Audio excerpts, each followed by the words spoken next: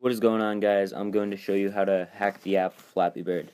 So you will need to have Cydia so you can download iFile and once you have iFile you want to open it up. You want to go to settings, file manager, you want to make sure the application names is on.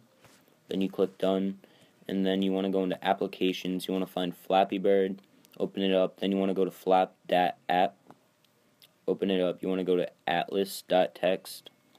Then you want to click edit. After that, you want to look for pipe down. Here it is. It is 270. That is normal. You want to change it to something like 5. Done. Save. Done. And then you can just go ahead and open up the app. Before I open up the app, it's going to cut out my voice. So I'm going to tell you right now, you need to make sure after you have edited on iFile that you shut down the app so it actually works, or you can just respring your device or something like that. Anyways, so when I open up iFile, it'll make, I mean not iFile, I mean Flappy Bird, it will make the bars a lot lower and you can just hop over them. The highest I've gotten to is 100 because I just wanted to stop there because it was like a cool number. And um, yeah, you can impress your friends and it's very easy, so please rate, comment, and subscribe. Thanks.